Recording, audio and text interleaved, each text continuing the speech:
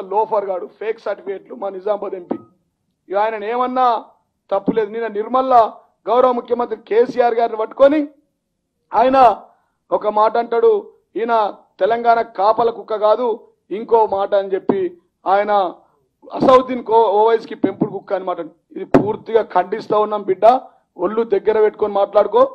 రాష్ట్ర ముఖ్యమంత్రిని బట్టి. నిన్న మా మైనంపల్లి హనుమంత్ గారు అన్నారు బండి సంజయ్ని బట్టలు ఇప్పుతారంటారు కానీ నిజామాబాద్లో అంబేద్కర్ చౌరాస్తాలో నీ బట్టలు ఇప్పించే రోజులు బాగా దగ్గరలో ఉన్నాయని నేను గుండు అరవింద్ ఎంపీకి మాట్లాడుతూ ఉన్నా. లేదంటే ఆర్మూర్ అంబేద్కర్ చౌరస్తాలో నీ బట్టలు ఇప్పుతాం ఆల్రెడీ రైతులకు ఫేక్ బాండ్ పేపర్ రాసిచ్చి ఆ రైతులను మోసం చేసింది ఈ గుండు అరవింద్. ఆ రైతులకు పసుపు బోర్డు తీసుకురాంది నువ్వు. నువ్వు సంస్కారం గురించి మాట్లాడతావు. నువ్వు చదువుకున్నో లెక్క నేను చదువుకున్నానంటావు నీ సర్టిఫికేట్లే ఫేకు. నువ్వే ఒక ఫేక్ ఎంపీ. రెండు వేల తొమ్మిదిలో మీ నాన్న ఎలక్షన్లో ఉన్నప్పుడు రివాల్వర్తో పైకి బెదిరించి కార్యకర్తలతో బెదిరిస్తే నువ్వు ఓడిపోయినావు. నాకు తెలిసి రివాల్వర్ తీసి బెదిరించి కేసు బుక్ అయిన ఎవరైనా ఎంపీ అయ్యి దేశంలో అంటే ఈయననే ఒక ఫేక్ ఎంపీ. ఈ లోఫర్ గుండు అరవింద్.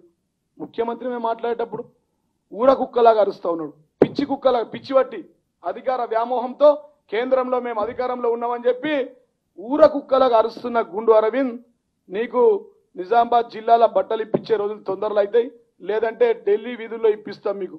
నువ్వు అనుకుంటున్నామో ఒళ్ళు దగ్గర పెట్టుకొని మాట్లాడని చెప్పి నేను ఈ ఫేక్ ఎంపీ ఫేక్ సర్టిఫికేట్లు MP fake bond paper MP గుండు అరవిందకు నేను వార్నింగ్ ఇస్తున్నా అని చెప్పి సందర్భంగా తెలియజేస్తున్నా. చదువు సంస్కారం నేర్పిస్తారట ఈ కరీంనగర్లో జోకర్ బండి సంజయ్.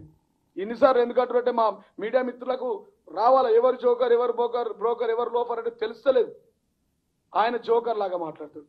ఈయన ఏమో లోఫర్ లాగా అన్ని అబద్ధాలే. బస్ బోర్డు విషయం నుంచి పడితే ఇప్పటిదాకా నీకు దమ్ముంటే రైతుల వద్దకు వెళ్ళు ప్రతి గ్రామంలో తిరుగు. నిజామాబాద్ వచ్చి నిజామాబాద్ నుంచి ఆరుమూరు మీద పోయి మెట్టిపల్లి ఒక ప్రెస్ మీట్ పెట్టి నువ్వు కూడా ఆ టూరిస్ట్ సేమ్ టూరిస్ట్ ఎంపీ మదియాస్ లెక్కనే మళ్ళీ ఈయన కూడా టూరిస్ట్ మా నిజామాబాద్కి వడ్డాశని ఎంపీ ఎంపీ అంటే టూరిస్ట్ ఎంపీలు అయిపోతున్నారు నువ్వు దమ్ముంటే ప్రజల వద్దకు. నిన్న నిర్మల్ సభలో అట్లా మాట్లాడుతూ ఉన్నాడు అసలు ఊర కుక్కవు నువ్వు. పిచ్చికి నీకు పిచ్చి లేచింది. నిన్ను ఎర్రగడ్డ ఆసుపత్రిలో చేంజ్ చేంజ్ చేసే రోజులు ప్రజలకు వస్తాయని చెప్పి. అంటే ఇట్లా పిచ్చిగా మాట్లాడితే ఏమంటారు మరి? చదువుకున్న వాళ్ళు లెక్క మాట్లాడు. మాటకు మాట తూటకు తూట. ఇటుకెతోని కొడితే రాయితోని కొడతాం. తెలంగాణ ఉద్యమంలో మేము చెప్పినాం మేము. నువ్వు ఈడ్సే మారేతో ఆమె పత్తర్సే మారితే.